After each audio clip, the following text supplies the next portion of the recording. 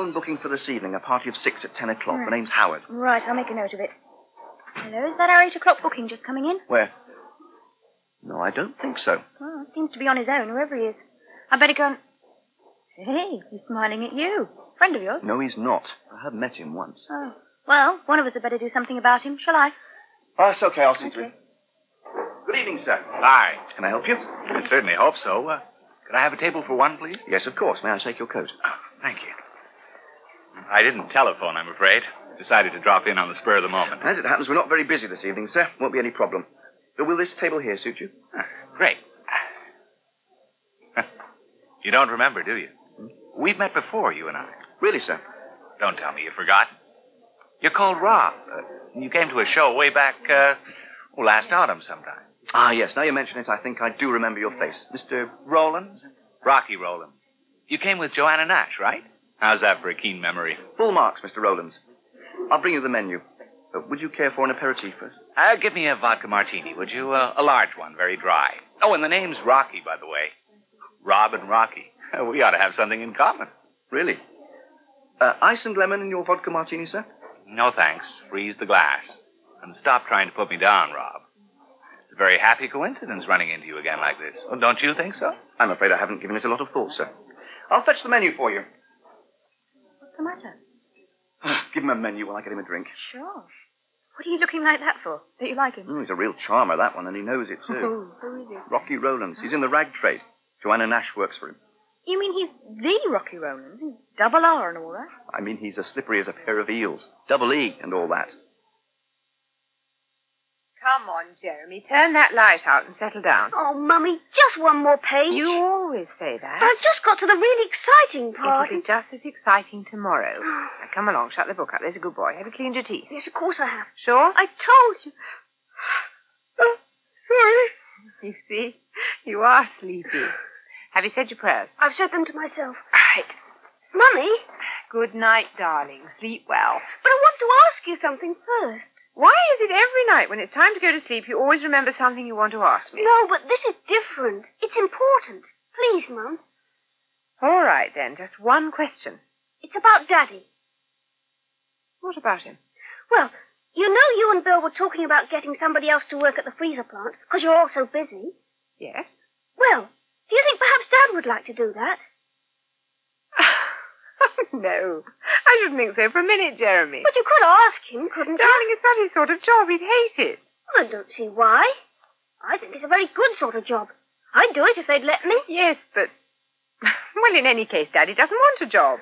He's got plenty to do at home looking after the family while Liz is working at the Herald. That was only like, well, sort of temporary. He said so. What? I heard him talking to Mr. Tully at the boatyard. He said he felt like going out and getting a real job again. A proper one.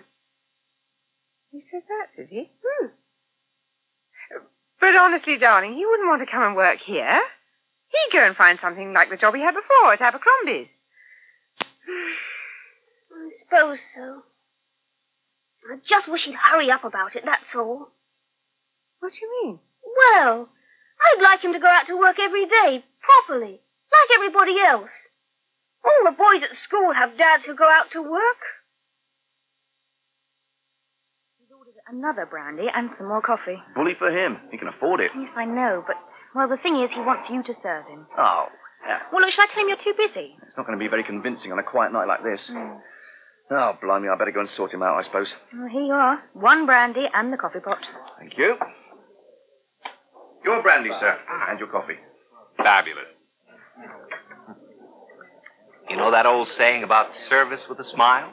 I'm not complaining, mind. The service has been really great, but couldn't you crack that stonewall face for a minute and come out with a little grin, maybe? For you, sir? Certainly. Don't strain yourself.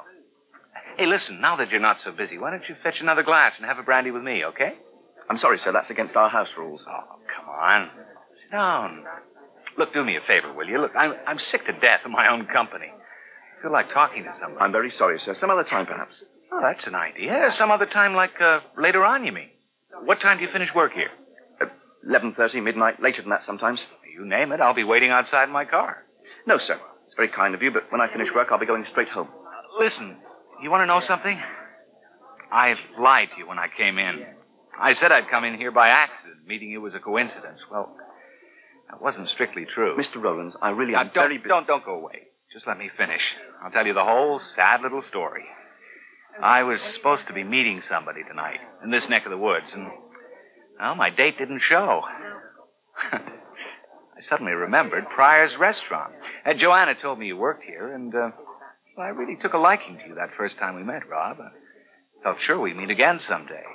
What's wrong with keeping in touch with old friends? Mr. huh? Rowlands, we met once a long time ago and very briefly. I don't call that a basis for friendship. I'd say we were almost total strangers, and as far as I'm concerned, we can stay that way. Now, if you'll excuse me, I'll fetch your bill. What did I say? Rob, what did you say to him? I just stopped him getting any wrong ideas, that's all. Oh, well, you certainly shook him. He looks awful. Does he? That's his tough luck. Here, you can take him the bill. You certainly took your time getting that lad off to sleep. What was the trouble? No trouble. Hello, Bill. Hello. I just rang through to the freezer, called Bill over. Quite right, too. I'm sure you've done enough work for one Well, day. he's going to have to do a darn sight more the way things are going. I've just made some coffee. Do you want a cup? No, thanks, Bill. Matt, do you know what Jeremy said Not now, just love. Tell me later, eh? We've got a bit of a crisis on our hands. Huh? What do you mean? Well, that's why I called Bill in. It's going to be a case of all hands to the pumps. Matt's just had a phone call from your stepfather. From Brad? Oh, how is he? You should have called me. Did you speak to Mother? No, no, I didn't. It wasn't a social call. He rang up with a business proposition. Oh, what was that? Apparently, among all his other interests, he's got some kind of a tie-up with a company called McDonald Harker, big international agency dealing in real estate. Hmm, I think I've heard of them. Haven't they got offices in that big tower block on the way to Swiss Cottage? Ah, that's right. Employ about 500 people there, so he says. They've been having trouble with their staff canteen. And what Brad suggests is that we should take over the whole catering franchise. Supply a selection of menus every day for lunch. All frozen here, so all they have to do is use their own microwave ovens.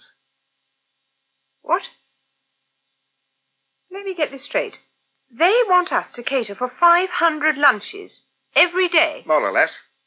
Well, it's what you might call an offer we can't refuse, isn't it? But, Matt, the freezer plant's already working flat out. We were talking today about having to take on extra staff to cope with the work we've already Well, got. that's why I called you both in.